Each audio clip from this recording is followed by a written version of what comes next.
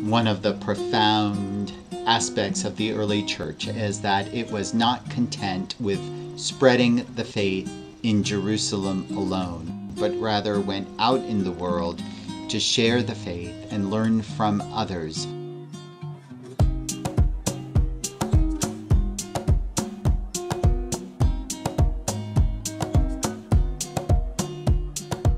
My name is Scott White, and I am the rector of Trinity Church in Asheville, and I have the privilege of, of helping to organize our efforts as a diocese with our new companion diocese, the Diocese of Cuba.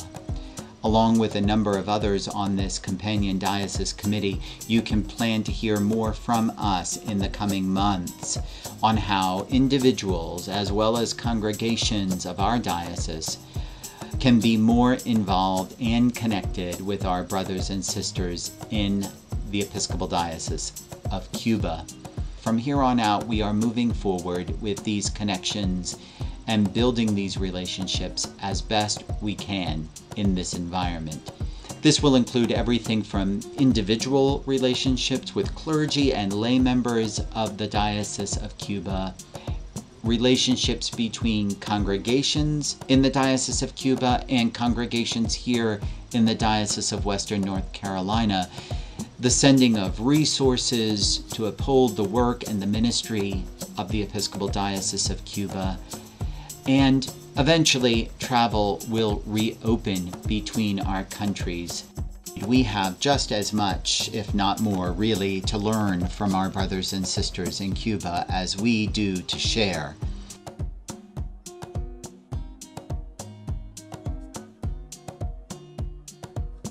My involvement with the Diocese of Cuba started in 2012 when I had a sabbatical, and a friend of mine suggested that I go spend some time at our seminary in Matanzas. And uh, the seminary was agreeable and Bishop Griselda was agreeable. So I spent a month uh, just hanging out with the seminarians in Matanzas. After I'd been there for two or three weeks, I asked the seminarians with whom I was having lunch, do you ever get Episcopal visitors? And they all sort of looked at each other and said, no, you're the first visitor we've had that we can remember.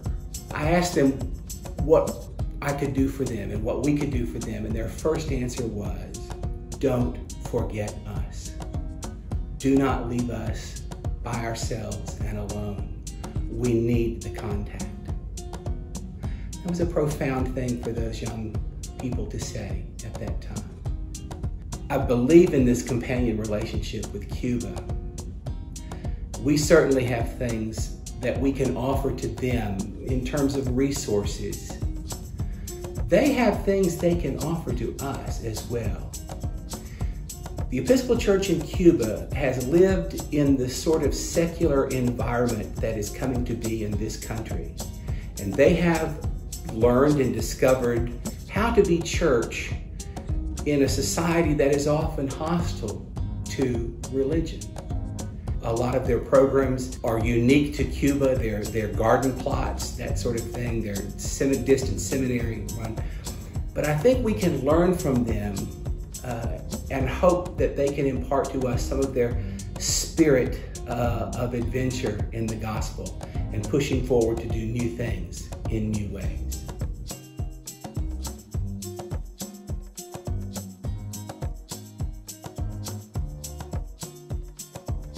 Our prayer is that our relationship with the members of the Diocese of Cuba will grow our hearts and our own vision of how the Spirit is alive and active in the hearts and minds of all people everywhere, but most especially our friends in the Diocese of Cuba.